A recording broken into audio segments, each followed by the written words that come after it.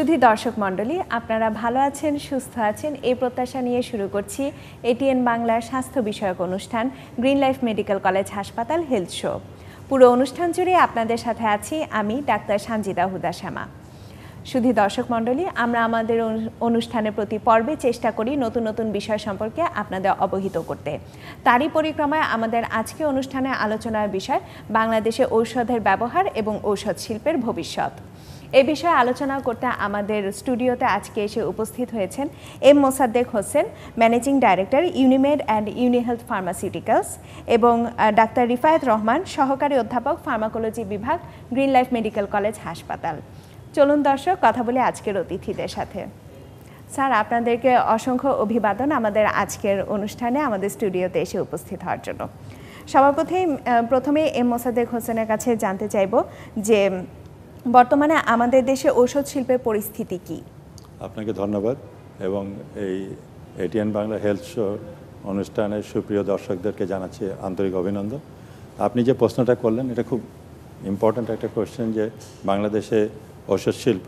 তা আপনাকে প্রথমে একটু বলা যে বাংলাদেশে এখন বর্তমানে ওষুধের যে রিকোয়ারমেন্ট সেটা কিন্তু বাংলাদেশে নিজেই প্রোডাকশন করা হচ্ছে এবং এখানকার শতকরা আটানব্বই ভাগ ওষুধ প্রায় আড়াই হাজার পঁচিশ হাজার কোটি টাকার একটা মার্কেট। এর নাইনটি এইট পার্সেন্ট ওষুধ বাংলাদেশে নিজেই প্রোডাকশন হচ্ছে এবং এখানকার যে প্রস্তুতকারকরা সেই ওষুধ তৈরি করে বাজারে এটা দিচ্ছে। এই সাথে অনলি টু পার্সেন্ট যেটা খুবই মানে নিউ ইনোভেটিভ ড্রাগস এবং যেগুলো এখনও প্যাটেন্টের সেইটুকু শুধু ইম্পোর্ট হচ্ছে। তা আমাদের দেশের যে মানে ব্যবহারের জন্য যে ওষুধগুলো দরকার, সব ধরনের ওষুধ। অ্যান্টি ক্যান্সার বলেন নিউ বায়োলজিক্যাল প্রোডাক্টস বলেন as well as antibiotics analgesics সব ধরনের ওষুধ এখন বাংলাদেশের যে দরকার সেটা আমাদের দেশে প্রস্তুত হচ্ছে। এবং এই ওষুধের মানও আমরা অত্যন্ত উন্নত মানের।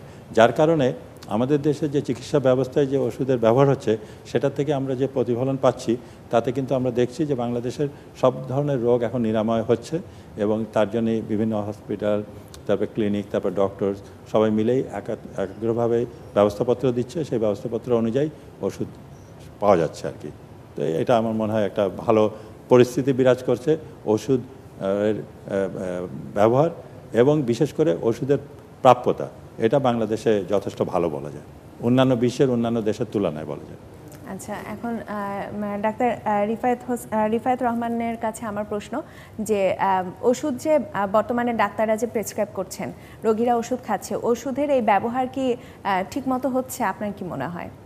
ওষুধের ব্যবহারের ক্ষেত্রে, আপনাকে ধন্যবাদ।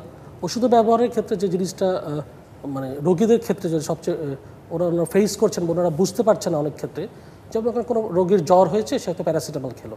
সে- হয়তো এক্সপেক্ট করছে যে আধা ঘণ্টা, এক ঘণ্টার মধ্যে জ্বর সেরে যাবে। কিন্তু দেখা যায় যে দুই, তিন ঘন্টাও লাগতে পারে। তো এটার জন্য তাকে ধৈর্য ধারণ করতে হবে। অনেক ক্ষেত্রে তার জ্বর হয়েছে, সে অ্যান্টিবায়োটিক নিয়েছে। সে হয়তো দুইটা বা তিনটা অ্যান্টিবায়োটিক ডোজ খাওয়ার পরে সে হতাশ হয়ে যাচ্ছে। সে মনে করছে কেন আমার জ্বরটা ভালো হচ্ছে না? হয় ডাক্তার আমাকে ভুল প্রেসক্রাইব করেছে অথবা ওষুধ কাজ করছে না? আমি আরেকটা ওষুধ নেই। সে তখন উচ্চ মাত্রার আরেকটা অ্যান্টিবায়োটিকের ক্ষেত্রে ঝুঁকে পড়ছে। এতে তার আর্থিক ক্ষতি হচ্ছে, শারীরিক ক্ষতি হচ্ছে। এবং পরবর্তীতে দেখা যাচ্ছে এটার যে সাইড ইফেক্ট যে উচ্চমাত্রার উচ্চ অ্যান্টিবায়োটিক খাওয়ার ক্ষেত্রে সে রোগীকে এটাকে অনেক ভোগাচ্ছে কিডনি বা আলটিমেটলি লিভারের ক্ষতি করে দিচ্ছে। তো এই ক্ষেত্রে আমি বলব, অথবা অনেক ক্ষেত্রে দেখা যায় যে, যেগুলো গ্যাস্ট্রিকের ওষুধ, সেগুলো আমরা সবসময় বলি আমরা ডাক্তাররা যে, খাবার আধা ঘণ্টা আগে খেতে। সে হয়তো সেটা না জানার জন্য বা তার অজ্ঞতার জন্য সে খাবার পরেই খাচ্ছে। যে কারণে তখন সেই ওষুধের যে মেইন আমরা যে যে- যে জিনিসটা আমরা এক্সপেক্ট করি যে কাজটা করবে কার্যকারিতা সেটা অনেকাংশেই কমে যাচ্ছে। তখন অনেক ক্ষেত্রে হচ্ছে রুগী অনেক মানে তাদের মন খারাপ হয়ে যায় যে আমি মনে হয় ভালো হচ্ছি না। তখন সে আবার অন্য ডাক্তারের কাছে যায়। তো এই ক্ষেত্রে রোগীদেরকে একটু ধৈর্য ধারণ করতে হবে এবং যে কোনো ধরনের কোনো প্রবলেম হলে তাকে তার চিকিৎসকের সাথে যোগাযোগ করতে হবে। আচ্ছা এক্ষেত্রে যদি এখানে একটু অ্যাড করি যে একটা ব্যবস্থাপত্র অনুযায়ী যদি ওষুধ নেওয়া হয় মেডিসিন নেওয়া হয় এবং সেইটা ব্যবস্থাপত্রের ভিতরে যে পিরিয়ডটা দেওয়া আছে সেই পুরো পিরিয়ডটা যদি ব্যবহার করা হয় তাহলে রোগী বেনিফিটটা পুরোপুরি পাবে আর কি। তো আমার মনে হয় সেইটাই হ্যাঁ, হলো ইম্পর্টেন্ট ব্যবস্থাপত্রটা ফলো করতে হবে এবং কোনো কনসার্ন হলে সেটা সেই মানে যিনি পরামর্শ দিয়েছেন অথবা কনসালটেন্টের কাছেই উনি যদি চিকিৎসকের কাছেই যান তাহলে ওনাকে পুরো জিনিসটা আবার ক্লিয়ার করে দিতে পারবে যে কতটুকু সময় লাগবে কীভাবে সেটা ব্যবহার করবে এই জিনিসটা।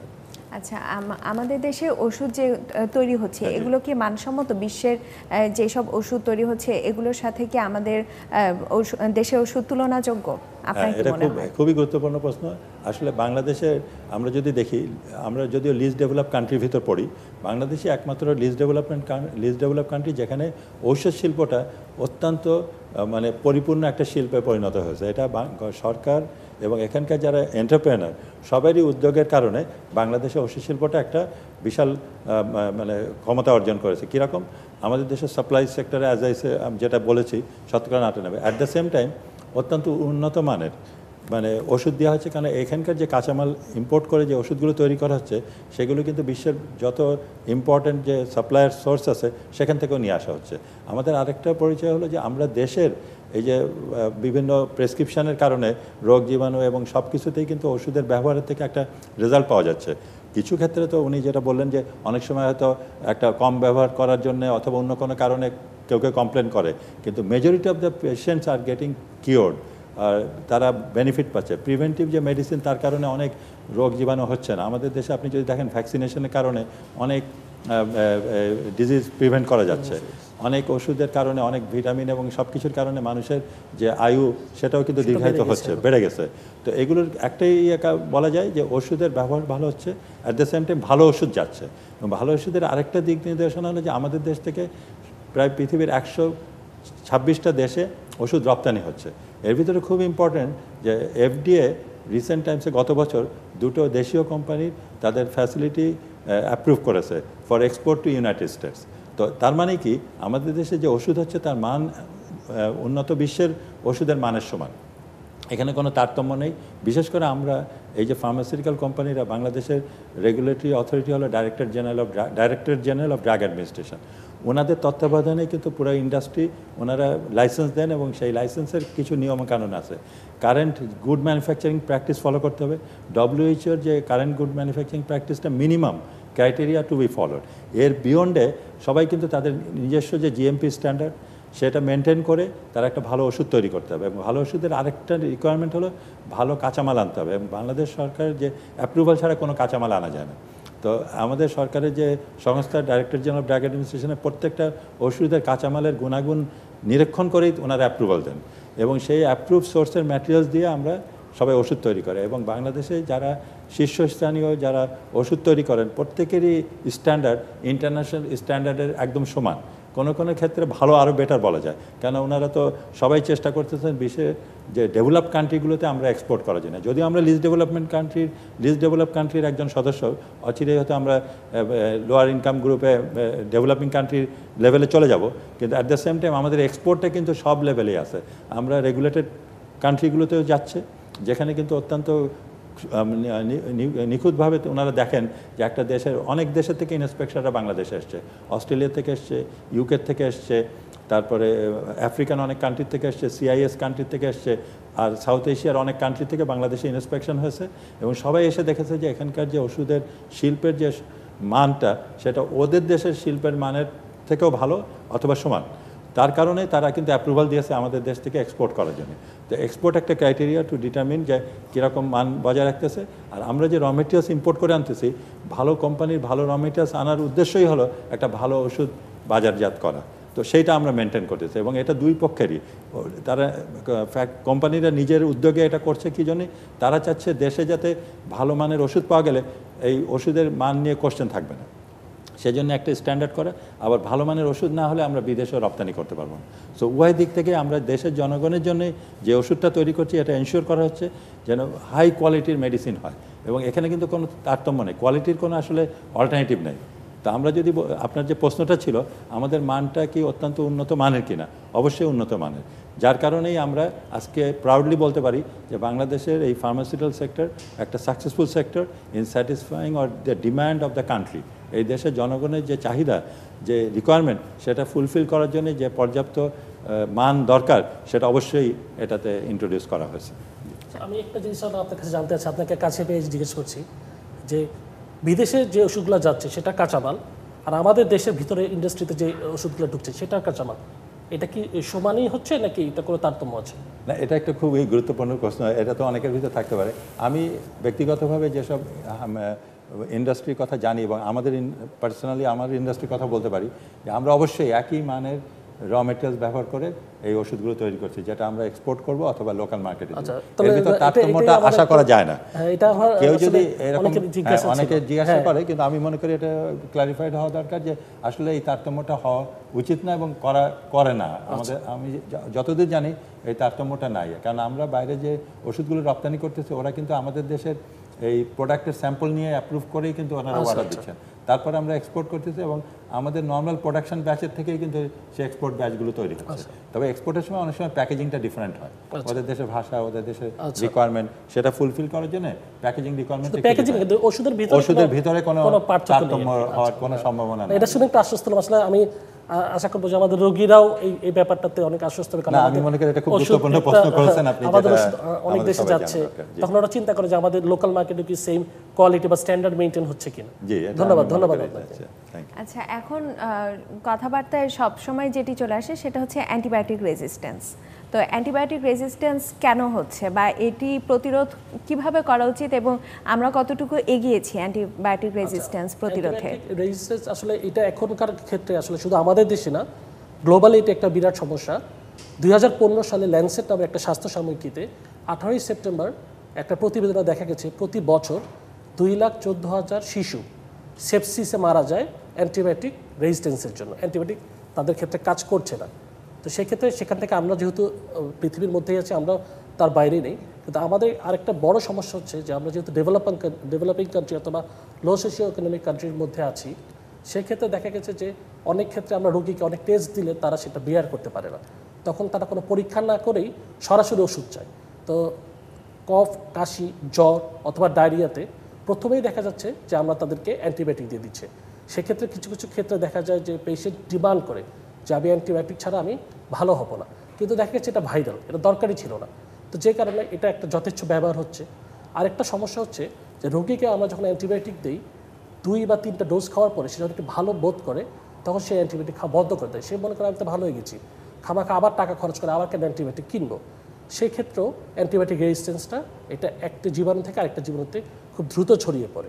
এইটা একটা সমস্যা আছে এবং এই অ্যান্টিবায়োটিক রেজিস্ট্যান্সের জন্য শুধুমাত্র এই মানুষের ক্ষেত্রেই না, আমরা যে পশু চিকিৎসকরা ষাট থেকে আশি ভাগ ক্ষেত্রে, এটা ডাব্লিউএইচওর একটি সমীক্ষায় দেখা গেছে যে ষাট থেকে আশি ভাগ ক্ষেত্রে যে আমাদের গরু, ছাগল আমরা যখন মানে যখন অসুস্থ হয়, তখন তারা সমানে অ্যান্টিবায়োটিক ইউজ করে এবং সেটা কোনো রকমের বাজ বিচার না করি সেটাও অ্যান্টিবায়োটিক রেজিস্ট্যান্স তৈরি করার ক্ষেত্রে একটা বড় ভূমিকা পালন করছে। তো সেক্ষেত্রে আমাদের এখন রিসেন্টলি আমাদের আগেও এই আইনটি ছিল, তবে এটি এখনও গ্যাজেটেড আকারে প্রকাশ হয়নি। যে প্রেসক্রিপশন ছাড়া অ্যান্টিবায়োটিক ব্যবহার সম্পূর্ণ নিষিদ্ধ এবং সেটা ব্যবস্থাপত্র, চিকিৎসক ছাড়া এবং রেজিস্টার্ড ফিজিশিয়ান ছাড়া কোনো অ্যান্টিবায়োটিক ইউজ করা যাবে না। তো সেটা যদি অচিরেই আমাদের ইমপ্লিমেন্ট হয়, যদি সরাসরি সরকারের মাধ্যমে এবং চিকিৎসক এবং ফার্মাসিস্ট যারা আছে অথবা ওষুধ ডিসপেন্সার যারা আছে, তারা এটাকে পালন করলে আমরা এটা অনেক ক্ষেত্রে কমিয়ে আনতে পারব বলে আমরা মনে করি।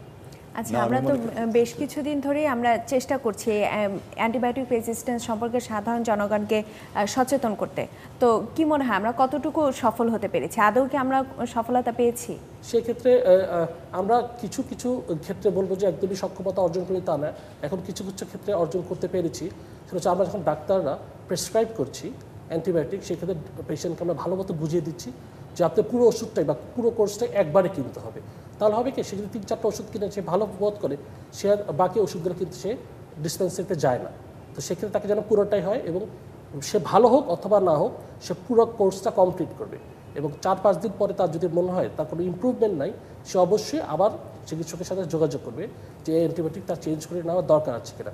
এবং যেখানে প্রযোজ্য সেখানে অবশ্যই টেস্ট করিয়ে নিতে হবে যে সেই অ্যান্টিবায়োটিকটা তার ক্ষেত্রে।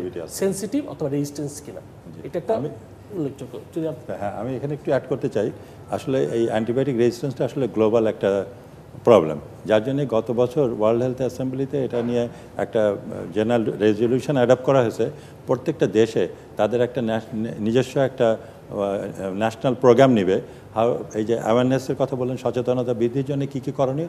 অ্যাট দ্য সেম টাইম অ্যান্টিবায়োটিকের ব্যবহার যে বিধিমালাগুলো পুরোপুরি মেনে চলা হচ্ছে কিনা, যেটা উনি বললেন, এখন কিন্তু দেখবেন প্রত্যেকটা বিজ্ঞাপনের নিচে এরকম লিখে দেওয়া হচ্ছে যে অ্যান্টিবায়োটিক প্রেসক্রিপশন ছাড়া ব্যবহার করা যদিও আমরা জানি কোনো ওষুধই আসলে প্রেসক্রিপশন ছাড়া দেওয়া উচিত না। অ্যাট দ্য সেম টাইম নতুন যে ড্রাগ পলিসি অ্যাপ্রুভড হয়েছে, সেটাও কিন্তু খুব ভালো একটা যুগান্তকারী ড্রাগ পলিসি যার ভিতরে কিছু প্রোডাক্টকে থার্টি নাইন প্রোডাক্টকে ওটিসি ড্রাগ হিসাবে আইডেন্টিফাই করা আছে। ওখানে খুব স্ট্রংলি আবার বলা হয়েছে, সব প্রোডাক্ট স্পেশালি অ্যান্টিবায়োটিকের ক্ষেত্রে আরও বেশি নজর দিতে হবে যাতে প্রেসক্রিপশন ছাড়া কোনো অ্যান্টিবায়োটিক সেল না হয়। অ্যাট দ্য সেম টাইম আরেকটা কথা, যেটা খুব ইম্পর্টেন্ট যে যে ফুল কোর্সটা নিতে হবে। এখন এটার ব্যাপারে ডাইরেক্টর জেনারেল ড্রাগ অ্যাডমিনিস্ট্রেশন থেকে কিছু কাজ করছেন ওনারা, যে আমরা যারা ম্যানুফ্যাকচারার সেটি আমরা একটা কমপ্লিট কোর্স একটা প্যাকে দিতে পারি। তো সেইটাই শুধু ডিসপেন্স হবে, এর ভিতর ভেঙে বিক্রি হবে না। এটার সাথে অবশ্যই একটা ইকোনমিক সাইডটাও দেখতে হবে। যে একজন হয়তো একসাথে সবটা নিতে পারছে না, তার ক্ষেত্রে কী করা যায়? কিন্তু টু এনকারেজ যাতে কমপ্লিট কোর্সটা ডিসপেন্স হয়, সে ব্যাপারে কিন্তু একটা প্রচারণা চলছে এবং কাজ, কার্যক্রম নেওয়া হয়েছে। যে অ্যান্টিবায়োটিকটা যদি ফুল কোর্স সাপ্লাই দেওয়া হয়, তাহলেই রুগী সেই পুরো ওষুধটা নেবে এবং তাতে রেজিস্ট্যান্স হওয়ার সম্ভাবনা কমে যাবে। আর উনি যেটা বললেন, কম ব্যবহারের জন্য অথবা অন্য ক্ষেত্রে যে অ্যানিমাল হেলথ ম্যানেজমেন্টে যে অ্যান্টিবায়োটিকের যে যথেষ্ট ব্যবহার হচ্ছে ওটা নিয়ে হয়তো কথা কম বলা হচ্ছে। কিন্তু ওটাও আমার মনে হয় একটু গুরুত্বপূর্ণ বিষয়, যেটা নিয়ে সবাই যদি আলোচনা করে, ওই সেক্টরেও যারা প্রেসক্রাইব করেন, তেনারা যদি একটু খেয়াল করেন যে অ্যান্টিবায়োটিকগুলো যেখানে দরকার অবশ্যই দিতে হবে। অ্যান্টিবায়োটিক যার দরকার তাকে না দিলে একই ব্যাপার হবে, যার দরকার নেই তাকে যে দিলে যেরকম হয়। তো যার দরকার তাকে অবশ্যই দিতে হবে যে যে জীবাণুর জন্য দরকার। সেটা যদি পরীক্ষা করা যায় অথবা ওনারা অভিজ্ঞতার জন্যে অভিজ্ঞতা নিয়ে হয়তো একটা প্রেসক্রাইব করলেন কিন্তু কমপ্লিট কোর্স করতে হবে এটা। আমাদের তরফ থেকে যেটা এনশিওর করতে হবে কোনো কারণে রেজিস্ট্যান্স যেন সাব স্ট্যান্ডার্ড প্রোডাক্টের জন্য না হয় এটা। আচ্ছা এখানে যখন কোয়ালিটির কথাটি চলে আসলো তখন হচ্ছে এই যে ওষুধ তৈরি হচ্ছে আমাদের দেশে এটির মান নিয়ন্ত্রণ করা হয় কীভাবে? আচ্ছা ওষুধের মান নিয়ন্ত্রণ দুভাবে একটা তো আমরা যারা ওষুধ তৈরি করে, তারা যে কোনো র মেটেরিয়াল যখন ইম্পোর্ট করে আনা হয়, সেই র মেটেরিয়ালসের গুণাগুণ পরীক্ষার জন্য প্রথমে উপাদান অবস্থায় এটা অ্যাকসেপ্ট করার আগে কিন্তু একটা কোয়ালিটি কন্ট্রোল টেস্ট করতেই হয়। ওদের সার্টিফিকেট থাকার পরেও আমাদের নিয়ম হলো প্রত্যেকটা ওষুধ, বিশেষ করে অ্যাক্টিভ ইনগ্রিডিয়েন্টগুলো প্রত্যেকটা প্যাকে আপনার ওষুধের মান দেখতে হবে। মানে ইন্ডিভিজুয়াল একটা ব্যাচের যদি পাঁচটা প্যাক এসে থাকে, প্রত্যেকটা প্যাকেই কিন্তু আপনাকে ইন্ডিভিজুয়ালি টেস্ট করতে হবে। এবং অ্যান্টিবায়োটিকের ব্যাপারে অনেকগুলো টেস্ট আছে। একটা ফার্মাকোপিয়ায় নির্ধারিত আইডেন্টিফিকেশন থেকে স্টার্ট করে তার অ্যাসে তার ডিগ্রেডেশন সব কিছু দেখার একটা পদ্ধতি এবং প্রক্রিয়া দেওয়া আছে। সেটা ফলো করে কমপ্লিট একটা টেস্ট করতে হবে। করে এটা অ্যাকসেপ্টেন্স একটা যদি কোয়ালিটি কন্ট্রোল রিলিজ করে, তাহলে সে স্টোরে নিতে পারবে। তারপর যখন প্রোডাকশানের সময়, তার ইন প্রসেস কিছু কন্ট্রোল আছে। একটা ডিসপেন্সিং লেভেল থেকে ডিসপেন্সিংয়ে কিন্তু ফার্মাসিস্টদের একটা সক্রিয় ভূমিকা আছে। এই যে যারা গ্র্যাজুয়েট ফার্মাসিস্ট তারাই কিন্তু কোয়ালিফাইড পার্সন হিসেবে ওষুধের কোম্পানিগুলোতে কাজ করে। তো ওনারা ওই ডিসপেন্সিংয়ের সময় থেকে প্রসেস এবং কোয়ালিটি অ্যাসুরেন্সে কমপ্লিট করে যখন ওষুধটা ফাইনালি তৈরি হবে, তারপরে কিন্তু আবার টেস্ট করতে হবে। টেস্ট করে আবার গুণাগুণ দেখতে হবে যেন মূল উপাদানে যে গুণাগুণ থাকার কথা সেগুলো আছে কিনা। এবং রিলিজ প্যাটার্ন ঠিক আছে কিনা ডিজলিউশন ঠিক আছে কিনা, সব দেখার পরেই ওষুধ বাজারে যেতে পারবে। তার আগে অবশ্য নতুন ওষুধের বেলায় স্ট্যাবিলিটি স্টাডি কমপ্লিট করতে হবে, যাতে শেলফে যাওয়ার পরে এটা যেন গুণাগুণে কোনো তারতম্য না হয়। যেই পিরিয়ডটায় প্রেসক্রাইব করা আছে, যেটা দু বছর শেলফ লাইফ অথবা তিন বছর শেলফ লাইফ এই পিরিয়ডে যেন ওষুধটা ভালো থাকে। সেই ব্যবস্থা দেখেই ওষুধটা রিলিজ করা হয়। তো ওষুধের এইভাবে মান নিয়ন্ত্রণ করা হয়। আর আরেকটা অ্যাড করা যেতে পারে যে বাংলাদেশে যখন এই ওষুধগুলো ফার্মেসিতে যাচ্ছে অথবা যেখানে, এর কিন্তু একটা টেম্পারেচারের ভিতর রাখতে হবে। একটা কন্ট্রোল টেম্পারেচার এনভায়রনমেন্ট দিতে হবে। এবং সেটার জন্যই কিন্তু এখন এই যে নতুন পলিসি নেওয়া হয়েছে, যাতে এনশিওর করা হচ্ছে যারাই ওষুধের বিজনেসের সাথে অথবা ফার্মেসি থাকবে, সেগুলোতে কী ধরনের মান হবে, সেটা ব্যাপারে হয়তো আপনার প্রশ্ন থাকলে আমরা পরবর্তীতে আলাপ করতে পারব। আচ্ছা রোগী আমরা তো এখন ইয়া দেওয়া হচ্ছে মানে ডাক্তার প্রেসক্রিপশন লিখে দিচ্ছেন এবং রোগী সেই প্রেসক্রিপশন নিয়ে ফার্মেসি থেকে ওষুধ ওষুধ নিয়ে আসছেন। এখন এই রোগীরা কি ঠিকমতো ফার্মেসি থেকে ওষুধ পাচ্ছে? ওষুধের প্রাপ্যতাটা কতটুকু? এটা খুব গুরুত্বপূর্ণ। আমার মনে হয় বাংলাদেশে তো আমাদের জানা মতে প্রায় দুই লক্ষর উপর ফার্মেসি আছে। এবং এইগুলো কিন্তু একটা রিসেন্ট টাইমসে একটা অ্যাসেসমেন্ট করা হয়েছে। এই ফার্মেসিগুলো কিন্তু একটা ভালো কাজ করতেছে যে সব জায়গায় সবাই ওষুধের প্রাপ্যতা আছে। ফার্মেসি থাকা মানে কি একটা লোক চাইলেই ওষুধের দোকানে যেতে পারতেছে। এখন নেক্সট কোশ্চেনটা হলো ওষুধের যে ডিসপেন্সিংটা হচ্ছে, সেটা প্রপারলি হচ্ছে কিনা? অনেক জায়গায় হচ্ছে। কিন্তু বেশ কিছু জায়গায় আবার এটাও দেখা যাচ্ছে ওই অপ্রতুল কোয়ালিফাইড পিপুলের অভাব। তা যার জন্যে এই আমাদের এই যে মডেল এই ফার্মেসিগুলোতে যদি আমরা গ্র্যাজুয়েট ফার্মাসিস্টদেরকে সম্পৃক্ত করতে পারতাম, তাহলে এই জিনিসটা, এই যে ওষুধ যখন একজন পেশেন্ট অথবা পেশেন্টের যে প্রতিনিধি, ওষুধ নিতে আসবেন, তিনি যদি ওষুধটা বুঝে নিতে পারেন মানসম্পন্ন ওষুধ নিয়ে যেতে পারেন। ওই ডিসপ্লে আমরা তো ম্যানুফ্যাকচারিং পয়েন্টে আমরা বললাম, অনেক মান বজায় রাখতেছে সব কিছু কিন্তু এটা যাওয়ার পরে ওষুধের দোকানে যখন যাচ্ছে, সেখান থেকে যখন রোগীর কাছে পৌঁছাচ্ছে অথবা রোগীর প্রতিনিধির কাছে যাচ্ছে, তখন যেন একটা ব্যবস্থাপত্রটা প্রপারলি একটা কোয়ালিফাইড পার্সনের সুপারভিশনে ডিসপেন্স করা হয়। তো সেই পরিপ্রেক্ষিতে কিন্তু বাংলাদেশ সরকার একটা উদ্যোগ নিয়েছে, যেটা আগেও ছিল বাট এইবার খুব ইম্পর্ট্যান্ট হলো যে ইন্টারন্যাশনাল কিছু এজেন্সির সহায়তা নিয়ে এমএসএইচ বলে একটা ইন্টারন্যাশনাল প্রোগ্রাম আছে। এবং ইউএসএ ডিএফআইডে এদের সবাই সাপোর্ট নিয়ে বাংলাদেশ সরকার একটা অ্যাক্রিডিটেড ড্রাগ সেলার প্রজেক্ট নেয়। যার মাধ্যমে বাংলাদেশে একটা মডেল ফার্মেসি ইনিশিয়েটিভ নেওয়া হয়েছে। যেখানে সেই ফার্মেসিগুলোতে অবশ্যই একজন গ্র্যাজুয়েট ফার্মাসিস্ট থাকবে। যিনি ওই ওষুধের প্রেসক্রিপশনের ব্যাপারে যদি কোনো কাউন্সিলিংয়ের দরকার হয় সেটাও করতে পারবেন এবং ওনার প্রেজেন্সের কারণে আমরা বিশ্বাস করি যে ওষুধের দোকানে কোনো সাবস্ট্যান্ডার্ড ওষুধ অথবা এক্সপায়ার্ড ওষুধ এগুলো পাওয়া যাবে না এবং এগুলো কমে যাবে। তো এইসব সব মিলে একটা ভালো স্বাস্থ্যসেবার দেওয়ার উদ্দেশ্য নিয়ে এইসব গ্র্যাজুয়েট ফার্মাসিস্টদেরকে আমরা সম্পৃক্ত করতে যাচ্ছি। আচ্ছা আপনারা আমাদের অনুষ্ঠানে এসেছেন আমরা অনেক গুরুত্বপূর্ণ তথ্য জানতে পেরেছি শিখতে পেরেছি। আপনারা আপনাদের মূল্যবান সময় দিয়েছেন এই জন্য আপনাদের অসংখ্য ধন্যবাদ। আপনাকেও ধন্যবাদ। আপনাকে ধন্যবাদ। শুধু দর্শক মণ্ডলী আমরা এতক্ষণ কথা বলছিলাম ওষুধের ব্যবহার এবং বাংলাদেশের ওষুধ শিল্প নিয়ে। আশা করি আপনারা অনেক অজানা তথ্য জানতে পেরেছেন এবং আপনারা অনেক উপকৃত হয়েছেন। আশা করি ভালো থাকবেন সুস্থ থাকবেন। দেখা হবে আগামী পর্বে। আল্লাহ হাফেজ।